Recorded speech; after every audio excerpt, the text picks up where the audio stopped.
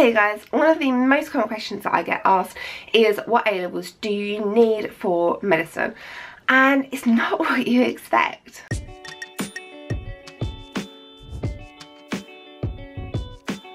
So this potentially could be one of the most boring videos I've ever made, but please don't let that turn you off because it's quite an important video.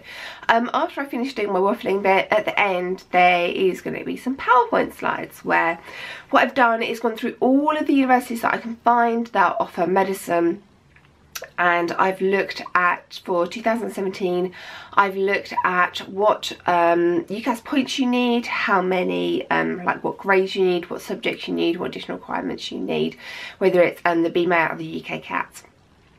Um, and the majority of them in fact all of them chemistry is the core requirement um, some of them require biology as well, so I, I, know most of you think that biology is the most important A-level for um, doing medicine, but it's not. Every single place wants chemistry and then other things to go with it.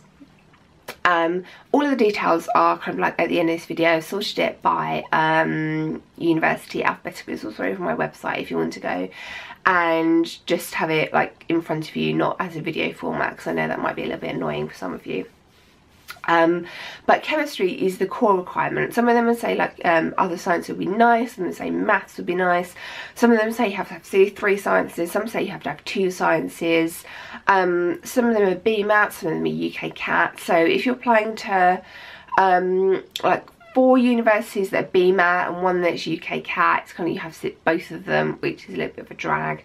Um, but you might just want to think about universities that are BMAT or just think about universities that are UK CAT. Um, but um, chemistry is the important one, which I know is going to come as a little bit of a shocker for some of you.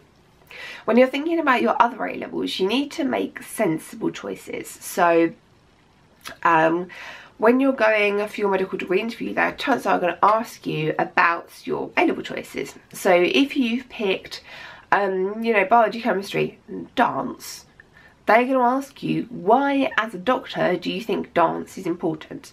And if you can't answer that question sensibly then maybe we shouldn't be picking dance as an A-level or French or music or art or history or politics or economics or anything that doesn't directly relate to being a doctor or medicine.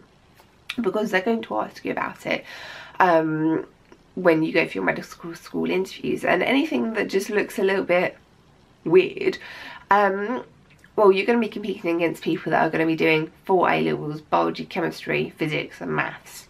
Okay. The other thing you need to be careful of when you're picking your A-levels is that some places will say that you have to have like three sciences. Maths is included as a science for this course. Um, but you can't have maths and further maths as two of your A-levels. Or you can't have biology and human biology because they're too similar. So you can do further maths but it won't be counted. Or you can do human biology, but if you do biology, it won't be counted. The other thing is that psychology generally doesn't count as a science in this instance. I know it's generally taught by science teachers, um, but it's generally not going to count as a science. Um, so there we go. That's what A-levels you need to do um, medicine. Now is going to become a boring slideshow